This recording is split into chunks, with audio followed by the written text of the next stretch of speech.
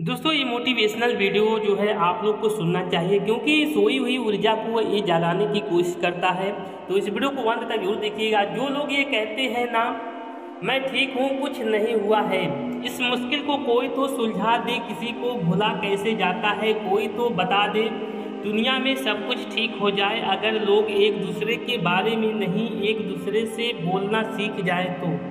आजकल दुनिया ऐसी हो गई है, जब किसी की ज़िंदगी में नए लोग आते हैं तो वो पुराने लोगों की अहमियत ही भूल जाते हैं। आँसू चाहे इंसान के हो या जानवर के हों, लेकिन ये बाहर तब ही आते हैं जब दिल में बेइंतहा दर्द होता है।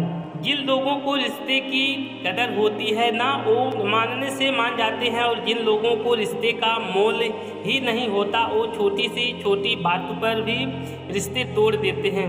बातें कम करो, बातें कम करो और काम बड़े करो क्योंकि आजकल लोगों को सुनवाई कम और दिखाई ज़्यादा देता है।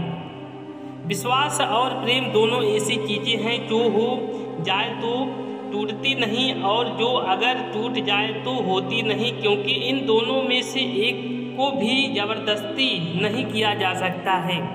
घमंड बहुत भूखा होता है और इसकी पसंदीदा खुराक है हमारे रिश्ते।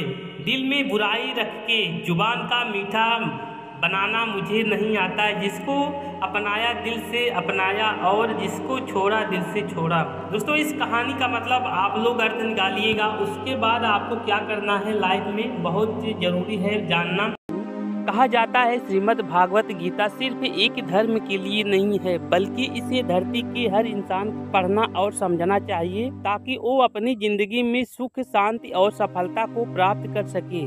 भगवत गीता में कुल 18 अध्याय हैं और इन 18 अध्यायों में कुल 700 श्लोक हैं जो सभी के लिए पढ़ पाना थोड़ा मुश्किल है।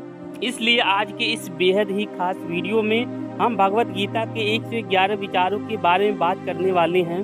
प्लीज़ आप लोग देखिएगा, जिन्हें जाकर आप भगवत गीता का सही मतलब समझ पाएँगे। इसलिए इन विचारों को आप हर सुबह सुनो। दोस्तों, इस वीडियो को देखने से आपके घर में आपको सुख, शांति और जो भी करने की इच्छा है, आप आसानी से कर सकते हैं। इसलिए मैं चाहता हूँ, आप लोग मेरे चैनल को प्लीज़ सब्सक्राइब कर लेना। किस क्योंकि दोस्तों, मैं इसी तरह से वीडियो लेकर आता रहता हूँ, बहुत इंपॉर्टेंट है। भाई, आप लोग को देखना बहुत ज़रूरी है। मेरे दोस्त, समय रहते हुए आपने कुछ भी नहीं किया तो आपके लिए परेशानी हो सकती है। तो क्या है श्री कृष्ण कहते हैं, मनुष्य को परिणाम की चिंता किए बिना लोभ, लालच, बिना एवं निस्वार्थ और निष्पक्ष होकर अपने कर्तव्यों का पालन करना चाहिए। जी हाँ दोस्तों, बहुत ही ज़रूरी है ये सब जानना। जिस तरह से प्रकाश की ज्योति अंधेरे में चमकती है, ठीक उसी प्रकार सत्य भी चमकता है। इसलिए मनुष्य को हमेशा सत्य की राह पर चलना चाहिए। जिस मनुष्य के अंदर ज्ञान की कमी और ईश्वर में श्रद्धा नहीं होती, वो मनुष्य जीवन में कभी भी आनंद और सफलता को प्राप्त नहीं कर पाता है। जिस प्रकार मनुष्य अपने पुराने वस्त्रों को त्याग कर नए वस्त्र धारण करता है, ठीक उसी प्रकार आत्मा पुराने व्यर्थ के शरीर को त्याग कर नए भौतिक शरीर को धारण करती है। कौन क्या कर रहा है? कैसे कर रहा है? और क्यों कर रहा है? इन सब उससे आप जितना दूर रहेंगे, उतना ही आप खुश रहेंगे। समझदार व्यक्ति जब संबंध निभाना बंद कर देता है तो समझ लेना उसके आत्म सम्मान को कहीं न कहीं ठेस आवश्यक पहुँची है।